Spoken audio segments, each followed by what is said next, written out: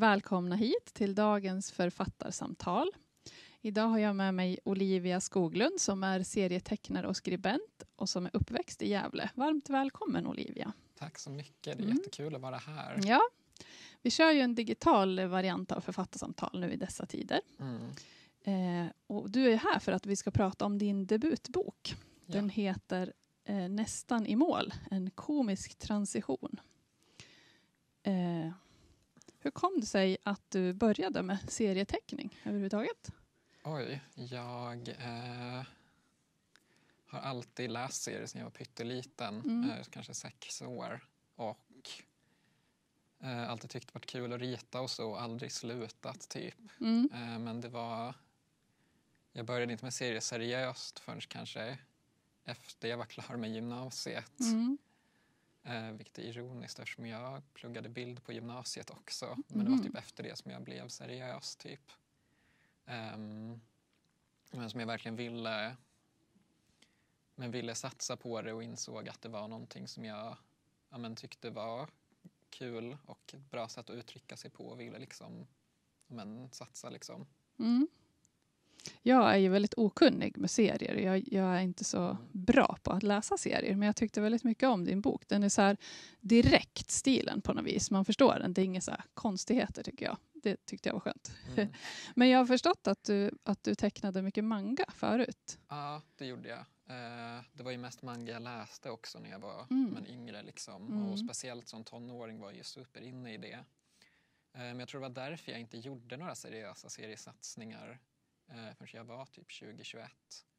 Eh, för att det, det var en stil som, om jag tyckte mycket om att läsa den då, eh, men jag tyckte det var väldigt svårt att rita. Det var alltid så himla tekniskt och så himla mycket bestämmelser kring mm.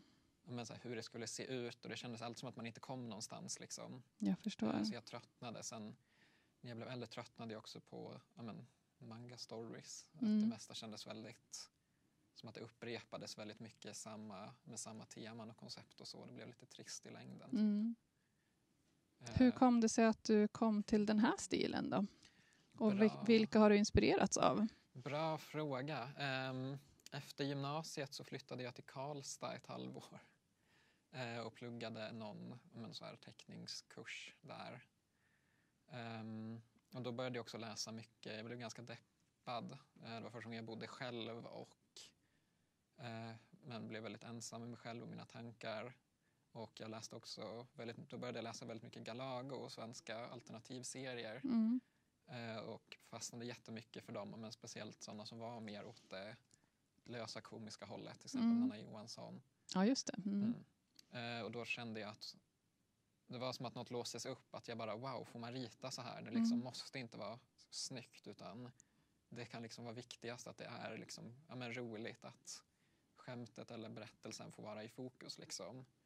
Eh, och då var det som att det släppte och det blev liksom kul att rita igen. Eh, och då körde jag på det mm. väldigt mycket.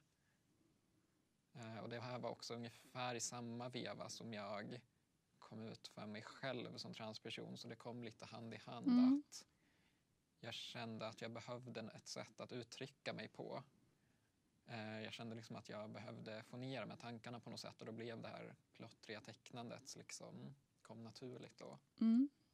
För boken handlar ju om just om din transition till kvinna och mm. berättelsen tar plats på en psykologdivan. Jag tyckte det var ett väldigt smart grepp för det är ett väldigt bra sätt att liksom berätta om olika händelser mm. från en och samma plats.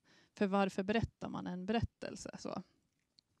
Och det är väldigt självutlämnande och med ganska mycket svart humor. Mm. och huvudpersonen Olivia säger själv i boken att det är vanligt bland hbtq-personer att använda humor för att hantera negativa känslor.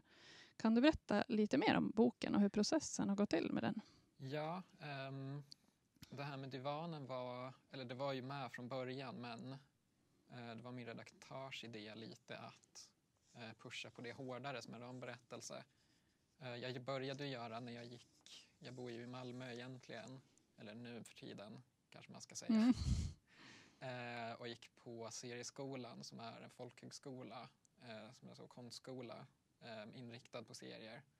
Och då när jag gick projektåret där så började jag med skissen till den här boken, eller utkastet. Eh, men då kändes det så ambitiöst att göra en bok. Mm. Men, direkt liksom så jag publicerade den som fyra stycken fanzine, alltså små tidningar som jag hade gjort själv på kopiator. Mm. Eh, men suttit och så här skurit och häftat själv liksom. Eh, och då var det fyra delar som de flesta av de här anekdoterna är med i. Mm. Och sen när jag tog det, när min redaktör och jag pratade när hon liksom var intresserad av att publicera det här. Då var det som att vi gick igenom allting. Hon bara, ah, det är jätte, jättebra berättelser men läser man dem back to back så är det bara en samling korta historier. Det behövs liksom någonting mer. Ja, för en att, ram. En ram Mm. liksom. Att om det ska vara i bokform så behövs det liksom en helhet. Så då eh, tyckte hon att vi skulle flasha ut liksom, psykologen som karaktär mer och det funkade jättebra. Ja, Eh, så jag själv tycker den blev jättebra. mm, absolut. Många scener i boken handlar ju om att passera och smälta in om folks Mm. oförstående. Hur var det egentligen att växa upp som queer i Gävle? Alltså, det där är en ganska svår fråga för jag såg väl inte mig själv som queer så när jag bodde här. I alla fall inte... Alltså jag, när jag bodde speciellt när jag var tonåring, så var jag ju väldigt mycket inne i... men jag var ju inne i en så väldigt killdominerad maskulin kompisgrupp. Eh, Okej. Mm. Jag var ju väldigt mycket inne på men, spel och tv-spel och sånt och hängde väldigt mycket med liksom mitt, mitt spelgäng och vi hängde väldigt mycket men, till exempel på Escape här i Gävle och sånt. Ehm, och då fanns inte riktigt utrymme för att prata om identitet och queera frågor utan det var liksom ens vänskap var ju liksom intressebaserad. Vi visste Mm. inte så mycket om varandras liv egentligen så. Eh, Men sen var det när jag började gymnasiet ehm, på Vasaskolan och jag som jag sa tidigare, gick på bildprogrammet och då blev jag en av tre men killar som gick i gruppen. Det var ju 90 procent tjejer. Mm. Och då var det som att jag kom in i en ny typ av social krets där helt plötsligt var okej att prata om identitet och prata om känslor och liksom man hade gemensamma intressen men det behövde inte definiera vänskap på samma Mm. sätt. Eh, Och det gav mig utrymme att fundera mycket mer över min egen identitet och eh, gav mig mycket utrymme att experimentera. Liksom. Eh, så det var väl då jag började få någon typ av queert uttryck. Mm. Typ, men mitten, slutet av gymnasiet.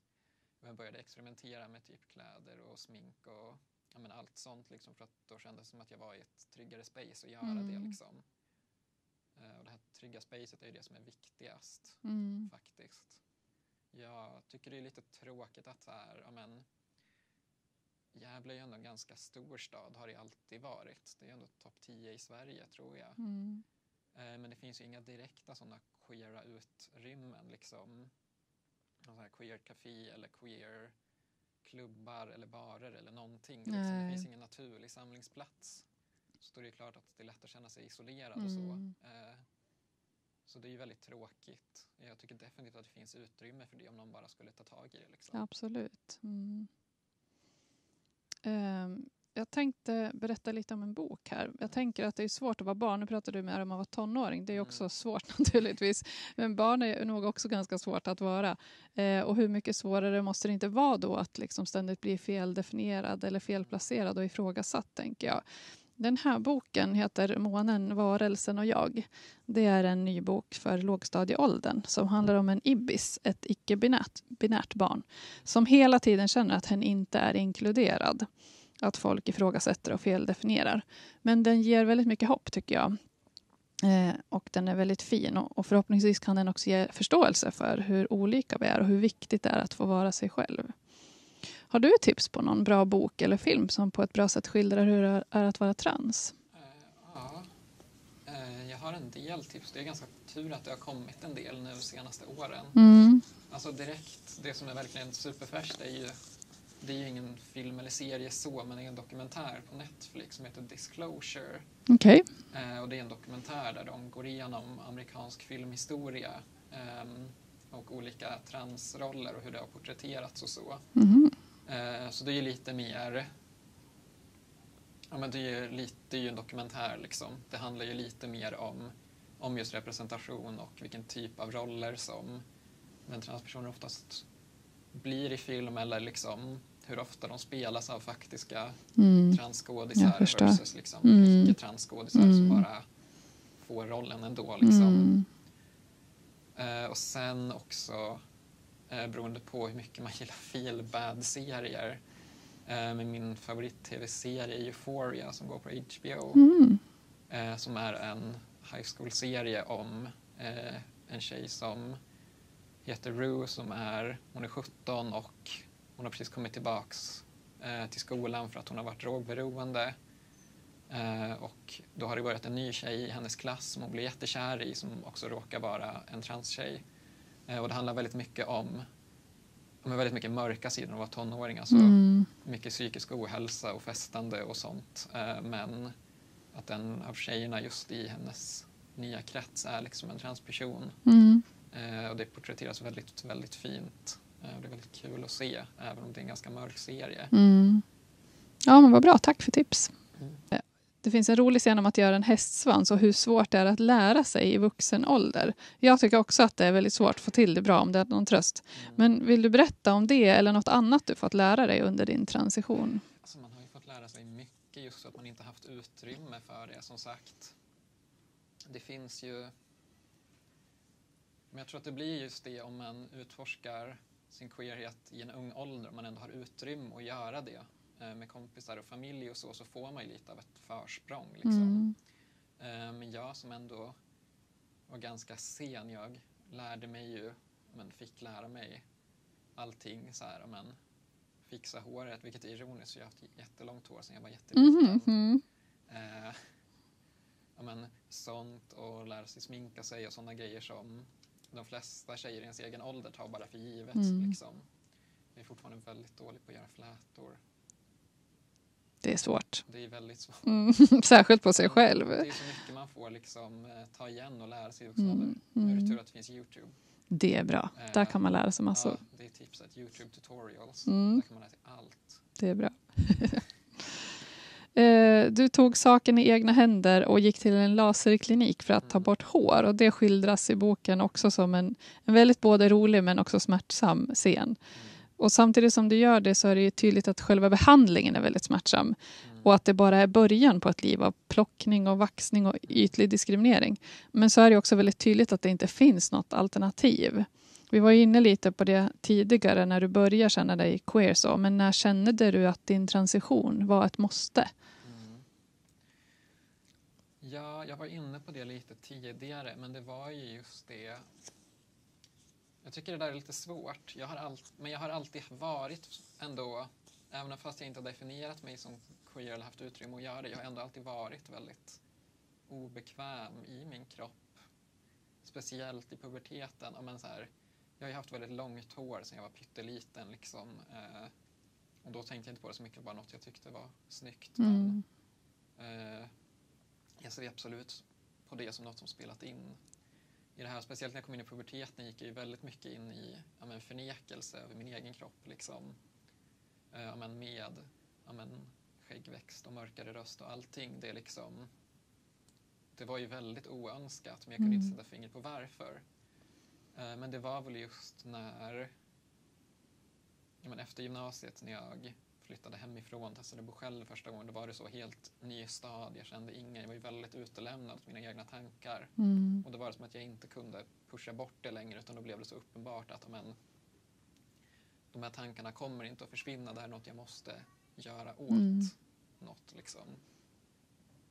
Jag förstår. Eh, sen då, eh, då flyttade jag tillbaks till Gävle eh, och började ställa mig i kö till utredning men det tog ju absurt lång tid. Mm. Ehm, det är ju ett väldigt vanligt missförstånd att det skulle gå snabbt att göra en transition och det gör det ju verkligen, verkligen inte. Ehm, det har ju spridits väldigt mycket, det sprids så himla lätt fel bild för att det finns ingen så generell upplysning om hur trans fungerar. Nej. Och en vanlig sån som sprids, jag vet att sprids till exempel via ett program på SVT som nu har fällts för att det var faktafel. Um, där de påstod att en transition kan ta fem veckor. Ja, det låter Det- som ett skämt. Ja, precis. Man Mm. får ju sitta flera år i Mm. vårdkö innan man ens får Mm. börja. Liksom. Mm. Det, det tar tid. Mm. Liksom. Mm. Men nu är boken ute. Vad, Mm. vad betyder det för dig? Oj, det betyder så mycket. Jag trodde aldrig jag skulle bli klar. Den är ändå ganska kort, alltså den är 120 sidor, men jag tänkte ändå så här, den kommer aldrig komma, det kommer aldrig bli klar med det här. Men det betyder jätte, jättemycket, dels för att jag, men dels såklart på ett lite mer personligt plan, att jag alltid har velat ge ut en seriebok mm. och göra det liksom. Jag har inga planer på att sluta nu liksom. Eh, men också att jag har fått väldigt mycket fin respons. Mm. Eh, men både från transpersoner och icke-transpersoner som liksom har hört av sig och sagt att de känt igen sig eller känt igen någon de känner och att eh, de tycker att den var fin. Mm. Det blev jag väldigt glad för. Det förstår jag. jag det är ju jätte... Målet att det var det som gjorde att det var en väldigt svår process just att det skulle vara igenkänning men också om man inte kunde relatera till att vara trans skulle man ändå få något ut av läsningen. Ja, precis, liksom. ja. Mm. Jag vill mm. inte att den skulle vara för snäv. Nej. Eh, men baserat på vad folk har sagt så verkar den bara verkar ha lyckats. Ja, jag är väldigt nöjd med. det håller jag med om. Absolut. Du ska vara stolt över det. Det är ju jättecoolt att ge ut en bok. Ja, det känns bra. mm. Boken heter ju Nästan i mål. Mm. Börjar du se slutet på resan eller blir man någonsin klar med en transition? Nej, jag skulle säga att man inte blir det. Titeln är ju en liten hint till att man inte blir klar. Mm. Det är just det man har ju alltid nya delmål och som sagt transitionsprocessen tar ju väldigt lång tid, för vissa tar den ju aldrig slut. Eh, så det handlar just det om att man man kan inte riktigt se det som nu ska jag göra det här och sen är jag klar. Nej. Varken om man är den som ska gå igenom transitionen eller om man känner någon som ska göra det. Det funkar inte riktigt så utan man tänker alltid delmål att snart får jag prata med den här psykologen eller snart får jag börja mm. med den här medicinen eller snart får jag mm. göra den här operationen. Men det, det tar ju liksom, det tar ju aldrig slut, det fortsätter ju. Mm. Liksom. Det här författarsamtalet har vi i samband med Gävle Pride som började igår. Vad betyder Pride för dig? Oj, det betyder väldigt mycket för mig. Um, jag, för mig så betyder ju Pride att man ska uppmärksamma hbtq-personers kamp eh, specifikt.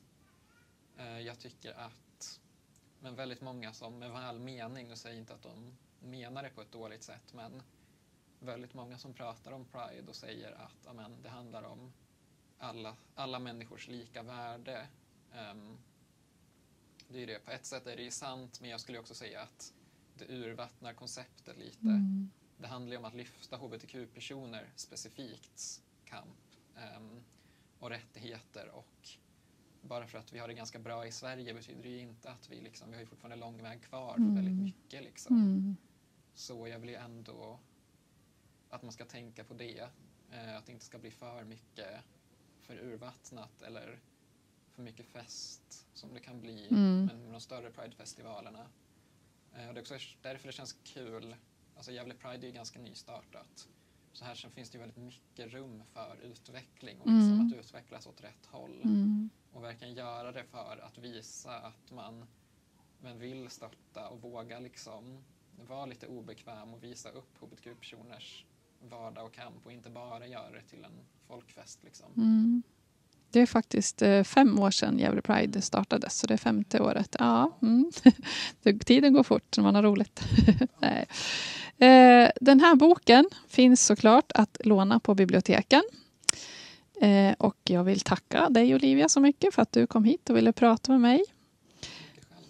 Eh, om ni inte redan har tittat på det så rekommenderar jag också vårt lästips i lunchtid med hbtq plus-tema som finns på, vår, på Gävle biblioteks Facebook och på helgebiblioteken.se under digitala evenemang. På ditt bibliotek kan du även få mer tips på hbtq plus-böcker och filmer. Och du kan även kolla i vår flyer, Berättelser bortom normen.